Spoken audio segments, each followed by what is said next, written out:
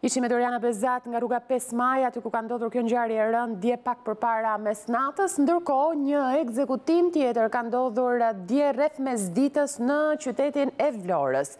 Biznesmeni Bledar Birçaj, pronari i një lokali të njohur në zonën e Lungomares në Vlorë, ka qenë shënjestër e një atentati me breshëri kallashnikovi nga i cili mbeti i vdekur. Ne do të shohim këtë video, këtë video e cila Është siguruar nga News njëzet e katër, po, për ta komentuar edhe njërë nga fillimi, sepse kjo është makina fokusi i së cilës ka qenë atentati, ja tek afrohet makina, është drejtuesi dhe një pasagjer në këtë makinë, janë dy autorë të cilët kanë qëlluar drejt makinës, është hapur dera e makinës nga pasagjeri i cili ka tentuar të dalë, por nuk del në tentativën e parë, del tani. Ndërkohë që Drejtuesi i mjetit ka mbetur i vdekur. Është një zonë me frekuentim, shihni që automjetet e tjera kalojnë lirisht në rrugë, edhe pse në fakt të trembur, terrorizuar nga ajo çka ka ndodhur.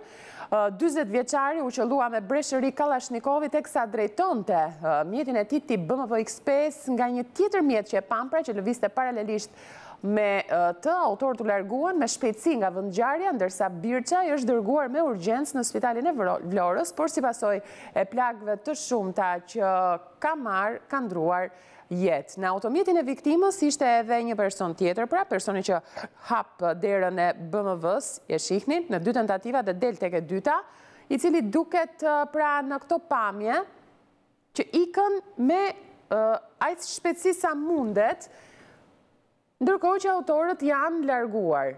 Është një zonë e frekuentuar dhe që ka patur praninë edhe të kalimtarëve, por edhe të automjeteve të tjera që kanë kaluar. Shihni xhamin e parë të makinës, i cili është qëlluar nga plumbat. Pra për ta parë edhe njerë videon për t'u fokusuar. Është makina e dytë që afrohet, pra jo e para e dyta. Këtu afrohen autorët qëllojnë me breshëri kallashnikovi me shënjestër drejtuesin e automjetit. U bie arma, kthehen dhe e marrin përsëri armën dhe largohen. Ndërkohë që pasagjeri që është tek BMW X5 del me vrap nga makina dhe largohet por në drejtim të autorëve.